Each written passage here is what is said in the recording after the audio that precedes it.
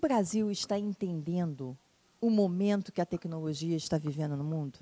Nós vemos hoje uma excelente oportunidade onde as tecnologias são exponenciais. Ela pode trazer um benefício muito grande para a sociedade. E nós temos que aproveitar esse momento. Temos muita coisa para fazer, muita discussão para ser feita.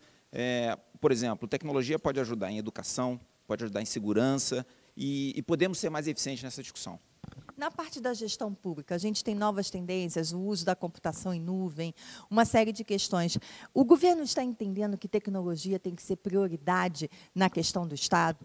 Eu acho que o governo e sociedade ainda têm uma dificuldade de entender o poder exponencial da tecnologia.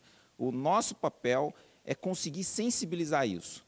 A oportunidade é gigantesca, o mundo inteiro está indo para essa direção, então nós temos uma oportunidade gigantesca de trazer boas coisas para o Brasil e, e, e para os cidadãos brasileiros.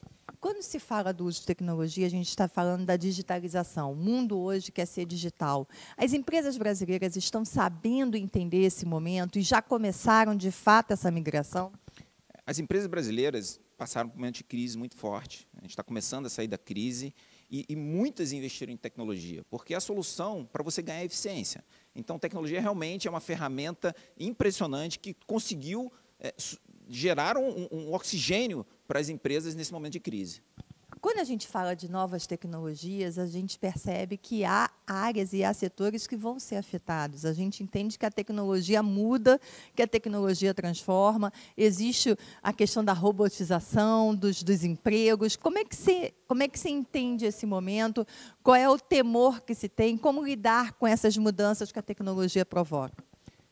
Precisamos enfrentar esses desafios de frente. Da mesma forma que existem as oportunidades, existem os desafios o, futuro do emprego vai ser muito diferente. O setor de call center vai ser profundamente afetado.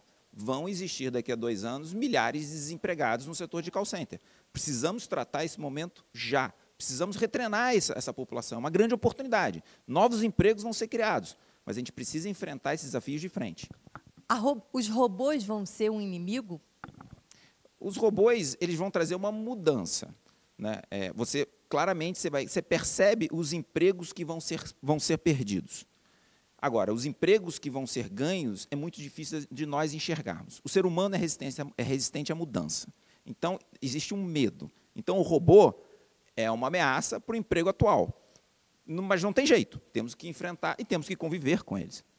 O Brasil quer ser um dos líderes no, no, negócio de internet das coisas. O governo está fazendo um plano nacional de internet das coisas.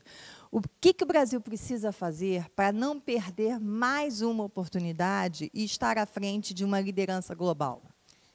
A internet das coisas é explosivo. Na verdade, existe uma, uma excelente oportunidade para o Brasil ser protagonista nessa discussão. Para os próximos anos, bilhões e bilhões de devices vão ser conectados à internet. Novas regulações vão ser necessárias, novas tecnologias, capital humano precisa ser desenvolvido. Então, é uma excelente oportunidade do Brasil capturar essa onda. É uma onda que está chegando e o Brasil tem essa oportunidade. Quando a gente fala do uso do TIC, o gestor de tecnologia hoje quer exatamente o que nesse momento, onde ele vive o, o dilema de ter que cortar custos? O setor é, existe um dilema, né? Hoje tecnologia é muito importante para o negócio, né? As empresas estão virando empresas de software, né? E então o, o, o, hoje o executivo de tecnologia ele cada vez mais ele está próximo do business, né? É, então é, existe essa transformação acontecendo também. Então o executivo que não falar a língua do negócio ele está fora do jogo. Quando você fala na transformação, 2016 não foi um ano bom para a maioria das empresas. Como é que você está avaliando 2017 e como que as empresas fornecedoras se prepararam para 2017? Os fornecedores estão entendendo que, que a tecnologia mudou?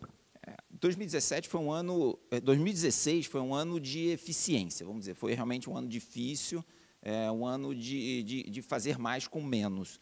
É, 2017 vai continuar sendo, mas a perspectiva é, para 2017 é muito boa. Já começamos o ano muito bem, é, a nossa empresa tem uma perspectiva muito boa de crescimento para esse ano, o Brasil também, acho que é uma excelente oportunidade para todos que operam no Brasil.